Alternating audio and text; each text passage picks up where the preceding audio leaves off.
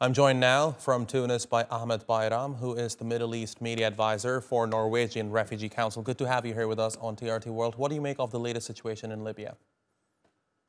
Thanks for having me. I mean, of course, I mean, your reporter puts it really well. It's chilling.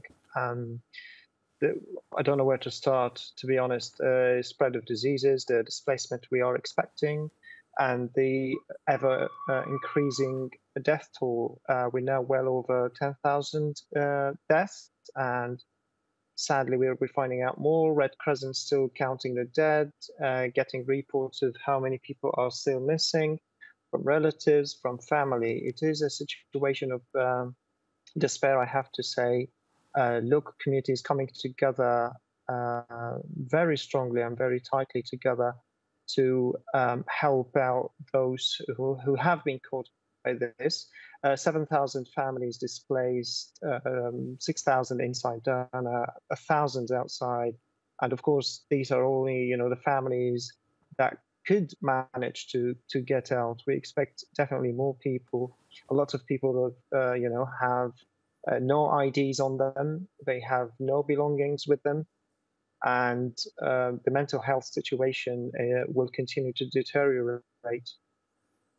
And as it can be seen on the live pictures that we are playing out of their entire neighborhood have been uh, wiped out. Uh, Ahmed, now some of the most immediate needs of uh, survivors uh, include fresh drinking water and food.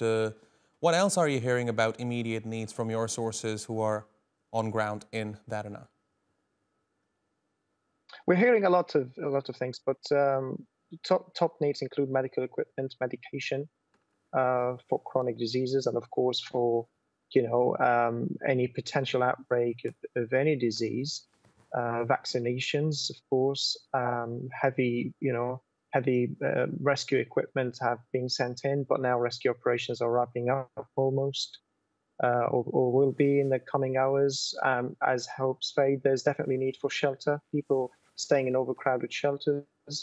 Uh, winter is, is around the corner, and with displacement, uh, we can't obviously we can't speculate about the numbers. If it's going to be in in many tens of thousands, these people will need to be sheltered, whether that is temporarily or whether that is through shelter repairs, so that they can go back to their you know to their homes if their homes are still standing. A lot of people will have to make that choice have to make that tough, very tough decision. We have right. seen that from the earthquake in Turkey and Syria, and it's repeating itself here. Shelter is a top need.